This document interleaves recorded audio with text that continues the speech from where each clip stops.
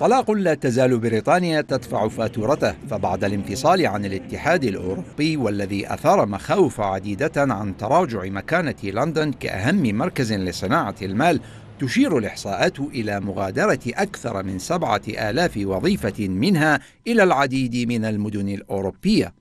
الاتفاق الذي خرجت بموجبه بريطانيا من الاتحاد الأوروبي وضع آليات للتعامل التجاري فأضيفت الرسوم الجمركية وكذلك الرقابة على الحدود إلا أن نتائج هذا الخروج بدأت تأثيراته تظهر في قطاع خدمات المال.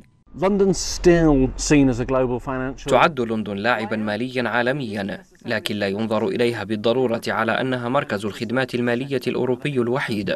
وأعتقد أن هذا نتيجة البريكزيت فلندن ليست المركز المالي الأوروبي الوحيد. فهناك أماكن أخرى كباريس أو أمستردام أو دبلن. تحذيرات فقدان لندن لأهميتها كمركز عالمي في الخدمات المصرفية مستمرة إلا أن هناك من يرى أن هذه التنبؤات مبالغ فيها.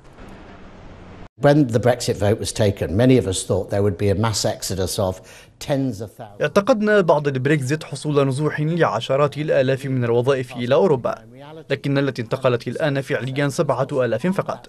لكن هناك وظائف أخرى توازي هذا العدد بعد أن افتتحت الشركات والاستثمارات الأوروبية مكاتب هنا في لندن. تداعيات البريكزيت على الصناعات المصرفية والتي تمثل 8.3% من الناتج القومي في بريطانيا لم تحدد بشكل واضح بعد لكن العديد من المصارف بدأت تعزيز وجودها في عواصم أوروبية أخرى.